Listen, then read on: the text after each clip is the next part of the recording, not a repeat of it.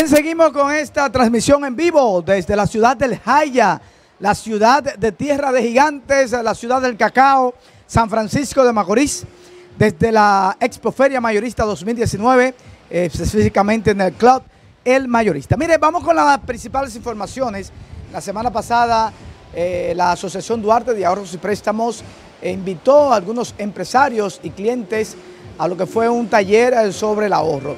Ahí podemos ver las imágenes, señor director, de lo que fue este evento de la Asociación Duarte, eh, donde eh, el señor Ellis, quien Emila, perdón, quien es dominicano radicado en la ciudad de Miami, estuvo impartiendo esta charla sobre la importancia del ahorro. Los principales ejecutivos, encabezados por el señor Luis Bardet, el presidente administrativos de la Asociación Duarte de Ahorros y Préstamos eh, estuvieron eh, presentes, además de una concurrida cantidad de empresarios, eh, también de periodistas, que, quienes dieron cobertura a esta actividad. Ahí podemos ver las imágenes. Vamos a dejar, señor director, un cortecito para que las personas puedan apreciar lo que ocurrió en este, en este taller con un expositor internacional sobre la importancia del ahorro.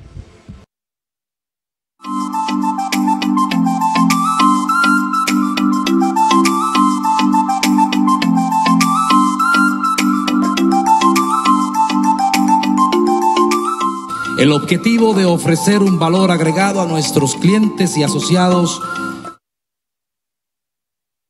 Por, otra parte, tenemos eh, lo que fue la inauguración específicamente de esta Expoferia Mayorista 2019 con la presencia de algunos ministros entre ellos el ministro de la presidencia, Ramón Peralta. También estuvo uno de los ministros más jóvenes de Economía aquí en esta expoferia. Eh, también estuvo el presidente de, esta, de este club, el mayorista.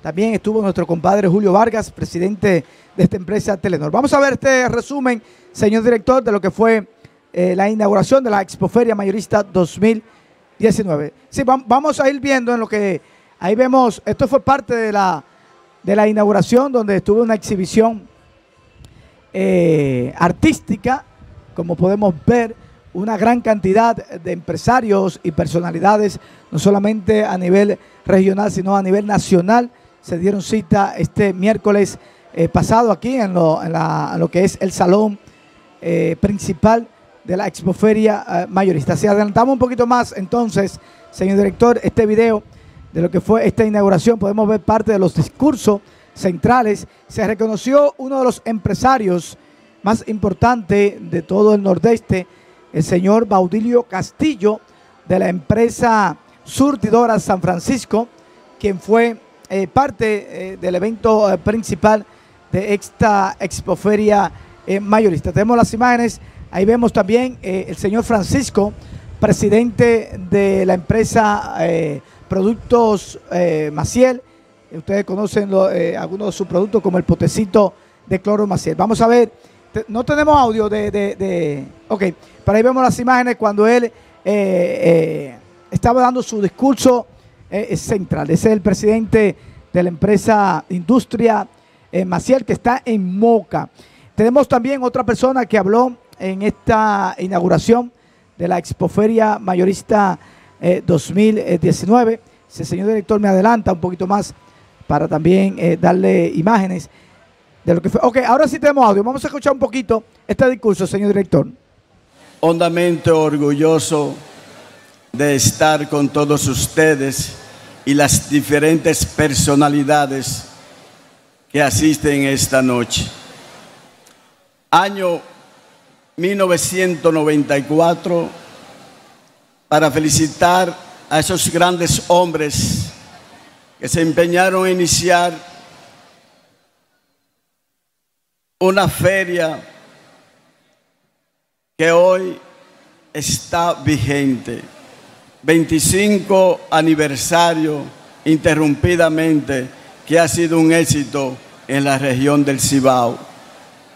1972 comenzó este humilde personaje en la creencia de mi padre Alejandro Castillo, estamos viendo. Vamos a adelantar un poquito para ver quiénes fueron las personalidades que estuvieron eh, el discurso central, los discursos principales, ya que fueron homenajeados. Tenemos otra persona ahí, el señor director me, me pone en Q, eh, de lo que fue esta inauguración de la Expoferia Mayorista 2019. Ahí vemos el secretario administrativo de la presidencia, José Ramón Peralta. Vamos a escuchar un poquito, señor director, 30 segundos y entramos de nuevo. Un papel muy importante en este crecimiento que ha tenido esta provincia. Un crecimiento que se ve de la llegada y yo pienso que esta asociación con más de 40 años ha jugado un papel fundamental en el desarrollo de este pueblo macorizano y de toda la región.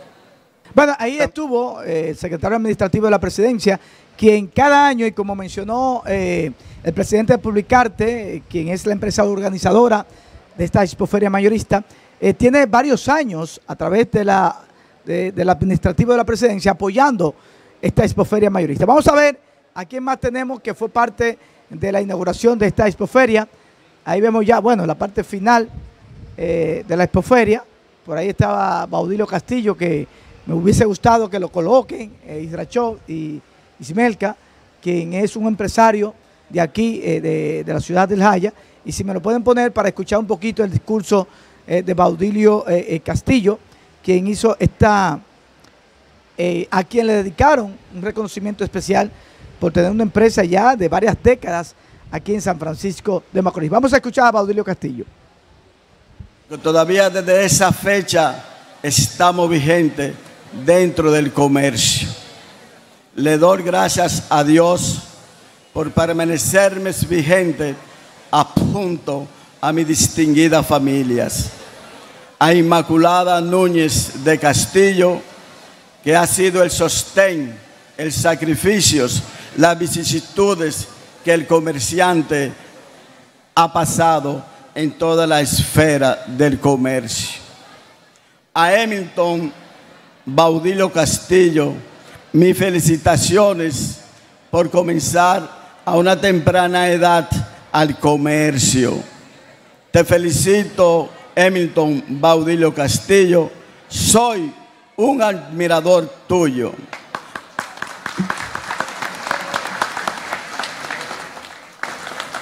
Para Eliani Castillo Núñez. Baudilio Castillo, quien le dedicaba este premio a toda su familia, sin lugar a dudas una familia eh, que comenzó desde cero y hoy por hoy son un emporio en lo que es eh, el negocio de surtidora en la parte norte de la República Dominicana. Cambiando de tema, señores, eh, Carlos Amarante Baré ha declinado sus aspiraciones como precandidato a la presidencia de la República Dominicana. Y según él, y lo van a escuchar, eh, lo hace porque entiende que hay preferencia en los precandidatos, en los ocho precandidatos. Él no dijo nombre, pero todos sabemos que lo hace porque él entiende que Gonzalo Castillo es el preferido del presidente de la República Dominicana, Danilo Medina. Así que vamos a escuchar un poquito, señor director, de esta locución que anoche en la tarde el precandidato, o vamos a decir mejor, el ex precandidato a la presidencia de la República, Carlos Amarante Baret, pues eh, declinó a sus aspiraciones. Escuchemos. El escenario electoral interno ha cambiado en el último tiempo. Se ha generado una desigualdad que no estoy dispuesto a tolerar, pues se están utilizando influencias políticas desde sectores ubicados en el Estado hasta el último minuto, sin pruritos han entrado en escena poderes que influyen en forma trascendental en aspectos en los que no estoy dispuesto a transar. Condeno las desigualdades en la sociedad y también en el partido. Una de esas desigualdades se ha creado en el último tiempo en la competencia interna. Bueno, ahí ustedes escucharon de la propia boca de Baré las desigualdades. Esto está delicado, señores el panorama político, principalmente en lo que es el partido de gobierno, el PLD, está crítico. Está crítico porque no es bueno eso, ¿eh? No es bueno. Pero bien, seguimos con nuestras noticias. Señores, hay gente que son más dichosas que el salami. Yo vi esta imagen y yo dije, eso era una película, Eh, no, pero es, es verdad, no eso, fue real, no, eso fue real. Vamos a ver estas imágenes donde una persona iba a asesinar a otra por la espalda y se le encasquilló la pistola. Sí. Yerjan dice, ven Yerjan, siéntate aquí. Yerjan, Yerjan, ven, siéntate aquí para que me lo diga. Eso no importa, ven. Miren, este señor es más dichoso que el salami. Genomán, siéntate aquí para que tú me digas si es cierta o no esta imagen. ¿Eh? Eh, eh, Génesis, tú que eres un experto en redes sociales, Dime. esto lo captamos de un video, eso fue en la ciudad capital, Ajá. en un colmadón, donde un, un señor aparentemente entró para asesinar a otro por la espalda. Ahora, ahí se ve la señora cuando se da cuenta y sale todo el mundo corriendo. Oh. Sí, pero eh, Eh, yo bu- vi el video. Buenas tardes, Génesis. Ey, Buenas tardes. explícame. ¿Y este flow? ¿Cómo que te, es un flow de- Excúsame. cotidiano? Eh, lo que pasa es que yo se mete en área de trabajo y eso. ¿Eh? No, Ah. no, déjamelo así. ¿Qué pasa? estamos eh, en un área así, de ¿Qué luz. pasa? ¿Qué pasa? Nunca chino. Al contrario, búscame uno a mí. Génesis, bienvenido. Qué bueno que viniste a, a- Eh, a supervisar esto aquí en Sí, la Expoferia. Sin duda esto ha sido un magno evento que tenemos que apoyar más a los empresarios franco-macorizanos y más que Telenor está apoyando como siempre directamente desde sus canales y estamos ahora mismo totalmente en vivo por Facebook. Ok, a nivel nacional, ahora a nivel mundial. Sí. Háblame de este video, Génesis. Yo vi el video, Roberto, Ah. y fue un vil montaje. ¿Es un montaje? Es un montaje. Es un montaje porque, te voy a explicar por qué hay varios factores. Espérate, ponme el video ahí, ponme el video. ¿Cómo que un montaje? Te voy a decir por qué. Eh, por favor, producción, que me ayuden Ahí en, está en- el, el- el video. ¿Por qué un montaje? En el momento, el tipo está señalando, eh, está apuntando con la pistola y hay una muchacha que le pasa por el lado. ¿Cómo ella no lo vio?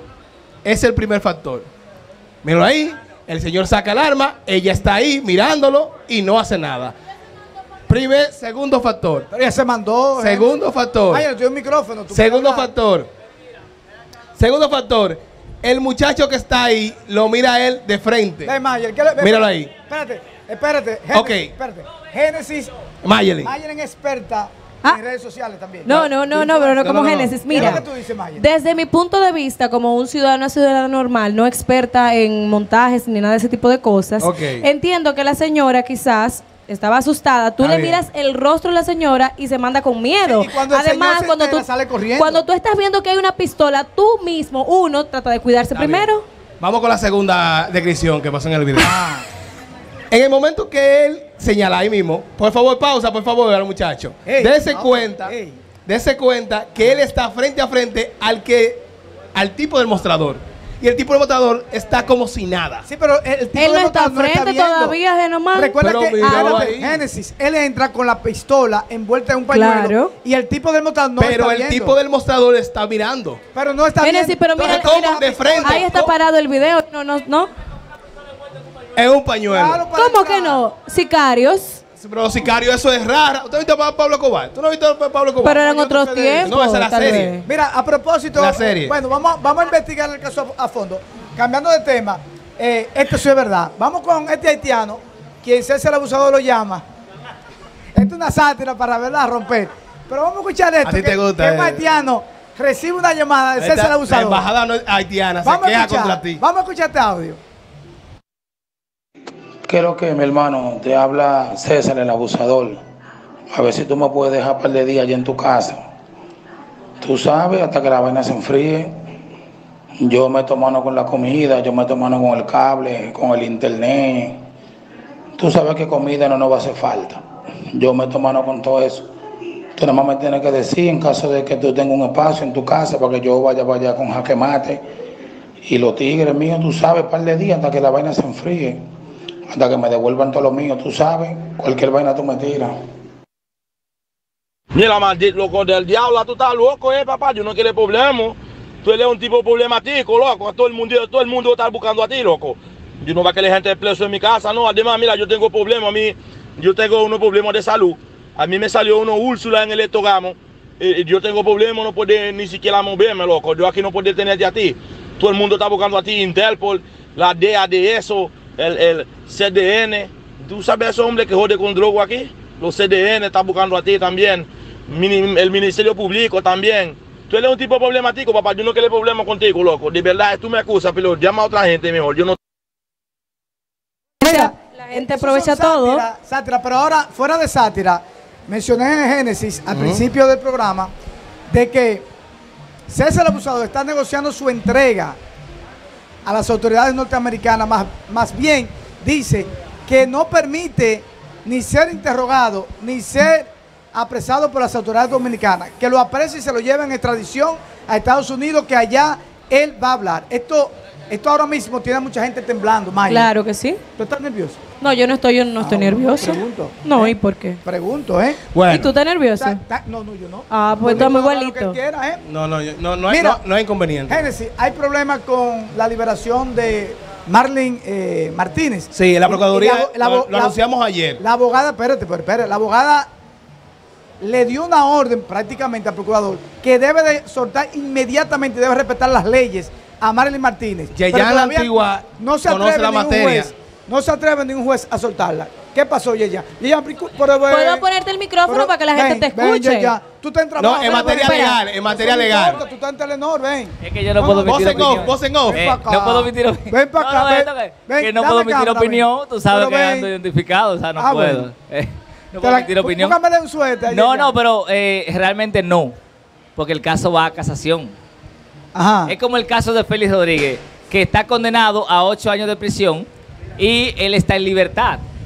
Porque hasta que en casación no se resuelva eh, la cosa, como se dice, entonces ella se va a mantener en prisión. Así ¿Y por qué la abogada de, de, de, de Marlene Martínez, eh, ¿cómo se llama? Ingrid. Ingrid. Ingrid eh, le exige a que la libere inmediatamente a Marlene Bueno, Martínez. porque la sentencia así, así lo establece. Pero fíjate tú que el caso de, de, de Félix Rodríguez él tiene una condena de ocho años. Y Sí. aún así, él eh, se en mantiene en libertad todavía. hasta que eso vaya a casación. Entonces quiere decir que todavía Marlene Martínez no sale de la cárcel. No puede. Bueno, Para las personas que viven inventando en las redes sociales, inventándose cosas, un experto eh, jurídico, como el señor Yeyan La Antigua, le explica a usted que ella no va a salir hoy. Ya hay gente que estaba haciendo un meeting hoy. Bueno, pero de que va para afuera, va para afuera. Va ¿eh? pa' afuera, sí, pa' va pa' afuera. Mira, Va ya una última noticia para irnos a la pausa comercial. Y Lamentablemente, te tengo una después de esa. eh, un chofer de, de estos que transportan arroz, de estos camiones, eso fue en la parte norte de República Dominicana, específicamente en las Guaranas, perdió la vida cuando su camión se, se volteó. Ay, hombre. Hay que decir, ojo con esto, y le damos gracias a Juan Gutiérrez por las imágenes, que este chofer estaba pensionado ya. Y parece que tanto la factoría o el dueño del camión lo pusieron a trabajar, como se dice, por la izquierda. Por ejemplo, en Estados Unidos es ilegal, luego que tú eres pensionado, que tú trabajes. Vol- volver a o sea, ninguna empresa te puede emplear y reportar. Entonces, quiere decir dos cosas. Que este señor no estaba asegurado por la empresa porque ya está pensionado. Entonces, eso es un lío de fuerza mayor y hay que investigarlo. Lamentablemente, eh, perdió la vida este señor que elaboraba para una factoría y ya estaba, supuestamente, se dice que estaba pensionado. Es decir, que no podía estar todavía trabajando en la factoría. ¿eh? Vamos entonces, Bueno, Génesis. La última información. Ah, eh, Tengo una, una información no, que está sumamente pausa. calentica. Vamos a la pausa para que la traga de último minuto. Ah, bueno, está Sí. bien. Vamos a un corte, señor director. Regresamos con más. Estamos transmitiendo desde San Francisco de Macorís en la Expoferia Mayorista 2019. Esto es el toque del mediodía. Recuerda que estamos en Facebook Live. Eh, estamos también a través de Canal América en el 1014, Telenor para toda la República Dominicana. Pausamos.